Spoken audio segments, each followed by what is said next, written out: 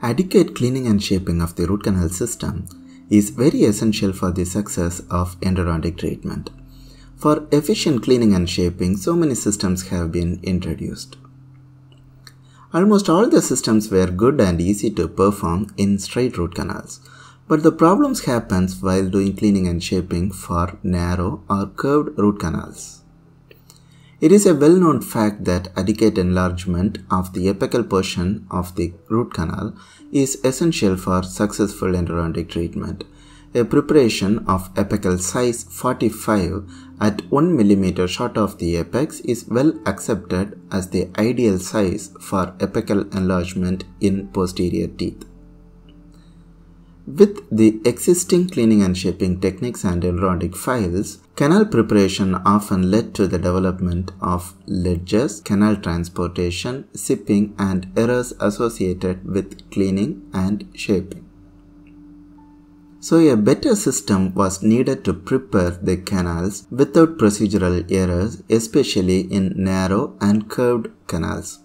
In the year 1985, Roane, Sabala and Duncanson, after extensive research, put forward the balance force technique which reduced canal transportation, instrument separation, ledges.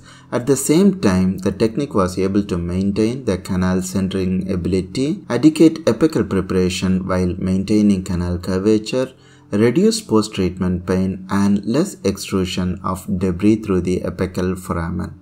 In this presentation, I will explain the balance force technique in a simple to understand manner with graphical images. I am Dr. Benin. If you are a dentist or a dental student watching this presentation, kindly consider subscribing to my YouTube channel Smart Dentistry. I will make videos that will be useful for dental students and dental practitioners. One of the problems that hindered preparation of curved root canals was the existing endodontic files. The conventional K files used for cleaning and shaping had a sharp transition angle at the tip. If this file is used incorrectly or rotated inside the root canal, it often led to the formation of ledges and canal straightening in curved canals. So the file was modified and a new type file was introduced which must be used while doing balance force technique. This file is called as Flex-R file. This file has a passive tip with rounded transition angle and a triangular cross section.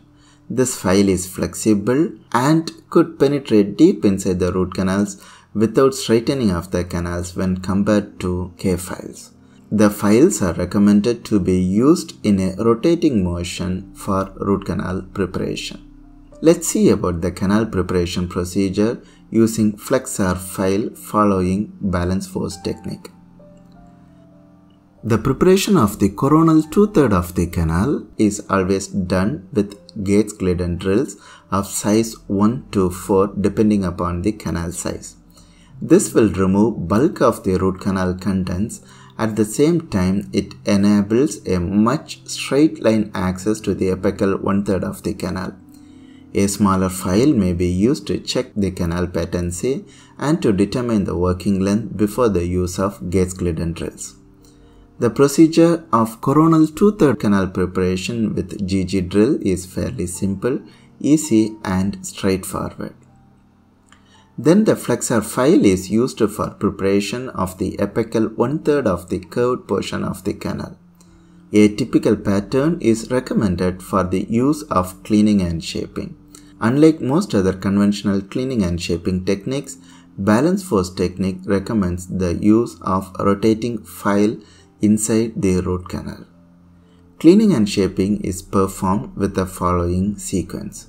First step is the placement of the file with slight apical pressure at the same time rotating the file a quarter turn that is 90 degrees clockwise. This process will allow the instrument to engage dentin and this motion should not exceed 90 degrees. If excess clockwise rotation is used, the instrument tip can get locked inside the dentin and the file may unwind or the file may fracture. Cutting is then accomplished by counterclockwise rotation applying sufficient apical pressure to the instrument. The amount of apical pressure must be very light for fine instruments to fairly heavy for large instruments. Pressure should maintain the instrument at or near its clockwise insertion depth. Then counterclockwise rotation and apical pressure act together to enlarge and shape the canal to the diameter of the instrument.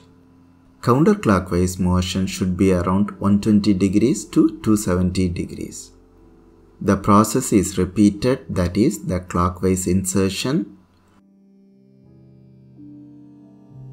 and the counterclockwise cutting as the instrument is advanced towards the apex in shallow steps. After the working depth is obtained, the instrument is freed by one or more clockwise rotation while the instrument is kept at the same constant depth. The file is then removed from the canal. Apical enlargement is continued until the apical diameter is 45 at 1 mm short of the apex.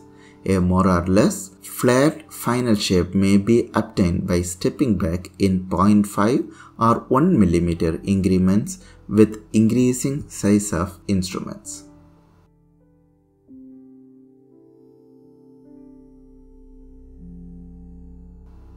A copious irrigation with sodium hypochlorite is recommended and single visit root canal treatment is recommended while balance force technique is followed.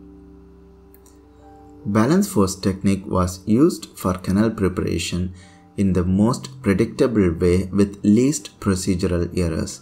Until the advancements in nickel titanium rotary instruments, balance force technique was quite popular. Even today, balance force technique has its own place in practice of endodontics. I hope the concept of balance force technique is clear. Thank you for watching and have a beautiful day.